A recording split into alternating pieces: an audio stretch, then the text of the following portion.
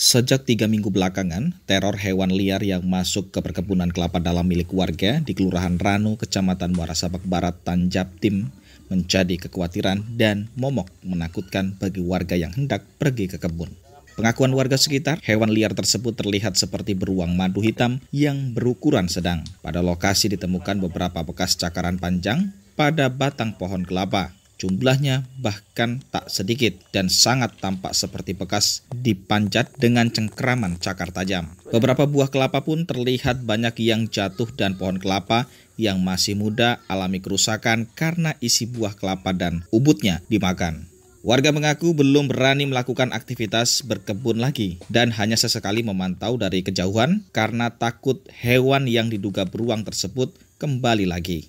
Teror hewan liar ini dirasa warga sangat aneh sebab area perkebunan sudah cukup dekat dengan pemukiman padat penduduk. Dengan kejadian ini, warga berharap akan ada tindakan dari pemerintah setempat maupun pihak BKSDA Jambi untuk memasang kamera trap ataupun jerat untuk hewan liar yang diduga beruang tersebut.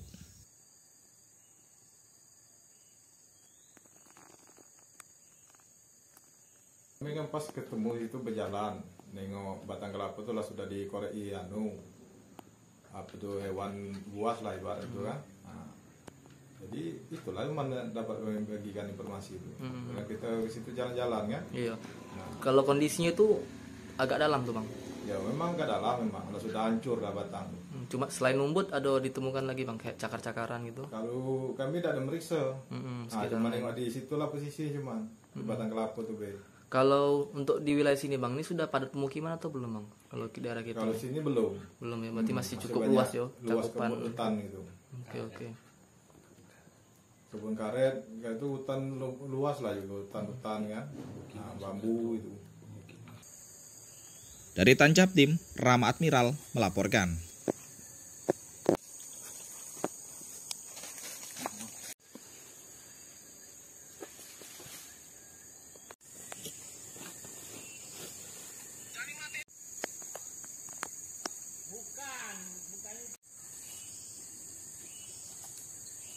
Nampak motor kami tuh.